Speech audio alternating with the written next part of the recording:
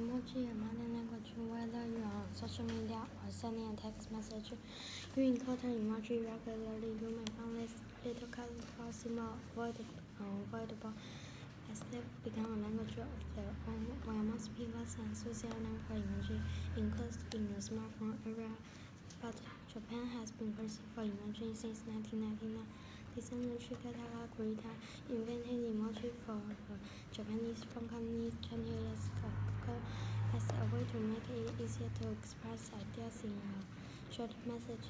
Emoji, the word emoji can be translated as picture character from Japanese.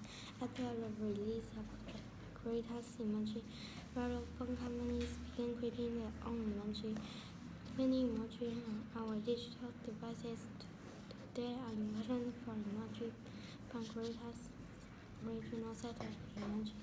Several of these emoji like sushi and has been icon are native to Japan. Japan's love for emoji continued well into the 2000s. Before the rest of the world discovered that Apple Inc. officially introduced an, an emoji function in their software in 2011.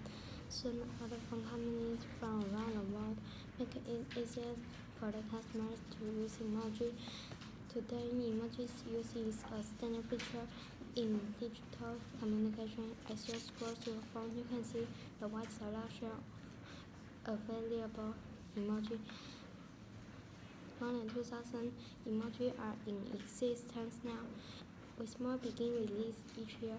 These numbers show the popularity and the demand for emoji. Why? Because words alone can't convey the complete meaning of the digital message. In digital communication, emoji express a tone or not. More than 90% of people online use emoji, especially ones that show emoji emotion like hearts and smileys. People can send emoji instead of writing words to participate in a conversation. For example, they might send in a red heart emoji as a response that really something instead of writing a love letter.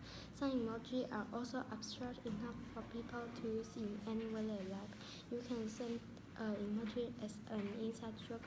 This is which is only between understood between you and your friend.